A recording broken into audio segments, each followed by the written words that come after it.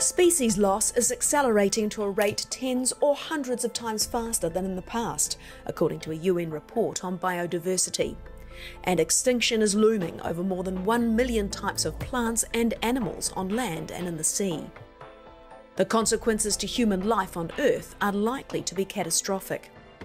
Habitat loss is a key part of this picture, as is the use of certain chemicals in intensive farming, impacting soil quality and polluting rivers and seas.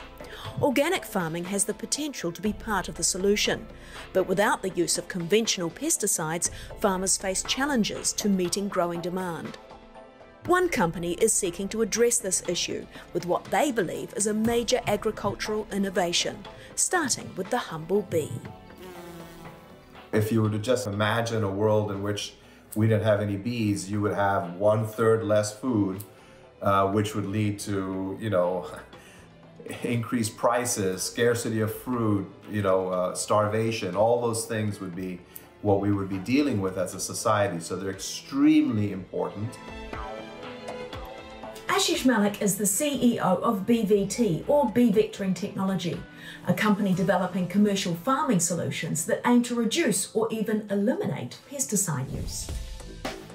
We work with the common European honeybee, which folks might be familiar with. That's where they get their honey from as well. As well as with, uh, there's a couple of species of commercial bumblebees that are reared for pollination. So these are bees that a farmer will typically either purchase for their season or rent for the season. And then either the beekeeper or the manufacturer of the bumblebee hive actually places these beehives within the farmer's field. It's estimated that in the US there are around 2.7 million bee colonies, two thirds of which travel the country pollinating crops. BVT's idea is simple to use the natural pollination process of these bees to deliver targeted crop controls, a process they call bee vectoring. You know, we are in a sense cargo on a natural flight that they're already making. So on the way out, they carry the BVT powder, and on the way back, they bring the pollen. And what happens is when they actually reach the flower, that's where kind of the magic happens for the farmer because there's a few things that happens. The bees are visiting the flower and in that process, the powder drops off their bodies and it kind of call it, we have a microorganism, a living safe microbe that's inside the powder that colonizes the plant tissue and that's what gives the farmer the crop protection properties he's looking for. But at the same time, he's also getting the pollination benefits of the bee itself. The powder itself is a type of beneficial fungus, the exact strain of which is subject to copyright. We isolated our particular strain in the soils in Ontario, Canada, and have developed it because it has beneficial properties for the crop.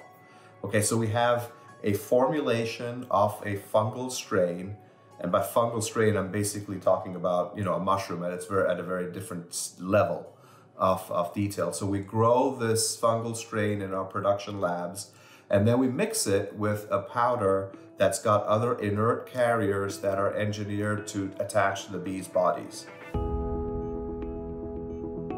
This organic farm in Switzerland is one of the early adopters of the technology. Simon Rass has been trialling the bee vectoring system on his soft fruits. Our bees uh, bring the material um, exactly to the flowers. When you use pesticides with a sprayer, then you have um, all the material on your area. Uh, on the ground, on the leaves, uh, on the flowers. So it's extremely specific to work um, of the bees and uh, perfect. The organic pesticide helps to protect against botrytis, a fuzzy grey mould you might have come across on a punnet of soft fruit. Worldwide, this pathogen is responsible for crop losses between 10 and 100 billion dollars each year.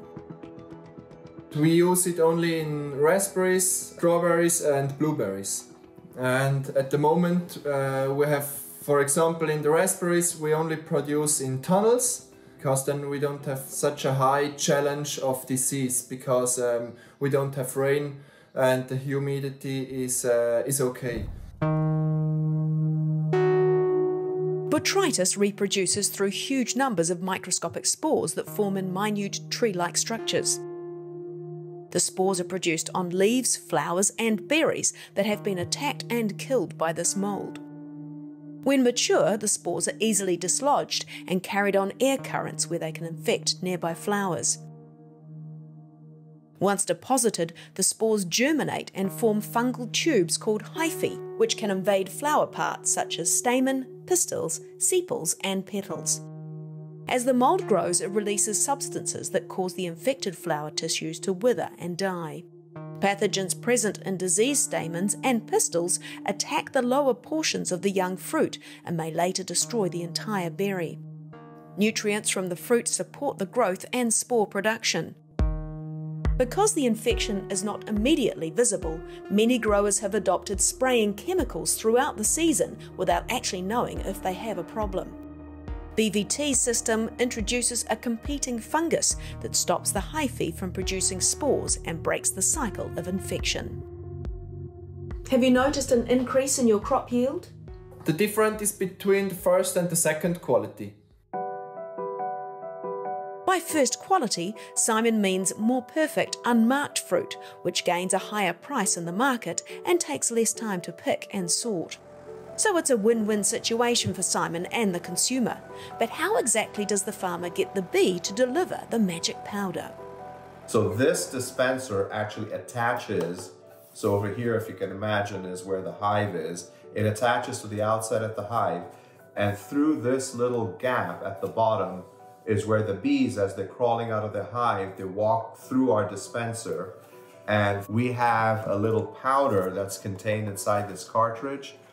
And uh, this, uh, this powder gets dropped in a very kind of metered way into that path. So as the bees are leaving the hive, they actually walk across this powder and they fly with the powder to the crop. So we work in that in this example I've shown you, we work with the commercial European honeybee hive. We've got a similar system that works with the bumblebee hive that's incorporated within the inside of the hive itself.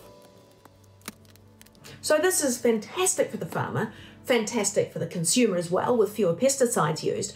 But is there also a benefit to the bees? Because numbers have been declining for many years now, haven't they? Yeah, colony collapse. Yeah, absolutely. So uh, not directly, but indirectly, yes, because you just kind of hit the nail on the head. There's many different factors that are contributing to colony collapse and decline in bee populations. And probably the most prevalent is the overuse of chemical pesticides. So there's a direct correlation with some insecticides that are used to the health of bee populations, but there's also now increasing evidence that even chemical fungicides have an effect on the colony's health and other products that are used in general. So we've actually got a very elegant way that the bees can help themselves. By applying a bee-safe biological product to the crop, the farmer doesn't need to spray as many chemicals, right? So as they reduce the amount of chemicals that they're spending, it'll come back and benefit the health of the bee population as well. Is there any data on that? Have you been able to collect anything? Every time that we're doing a trial to measure the beneficial effects to the crop. We're also asking the beekeeper to collect bee health data. So they actually look at colony strength. You know, how are the frames developing, right? You know, what's the development of the larva? How much of the frame is actually covered by larva? And so we are tracking that data. We probably need to do that for another couple, three seasons just to get enough data to be able to draw some conclusions from. But the early indications are that we're not hurting the hives because that's the first thing that we have to make sure of. But we're beginning to see some benefits that we could also, uh, you know, attribute to the overall system in terms of improved colony strength. While BVT technology is well placed to work with organic farmers such as Simon, they are also partnering with large non organic growers in several states in the US. So, this technology has huge industry wide implications. If commercial farmers can protect their crop in a way which supports biodiversity in the environment, then it's a good outcome for our farmers, our bees, and the future.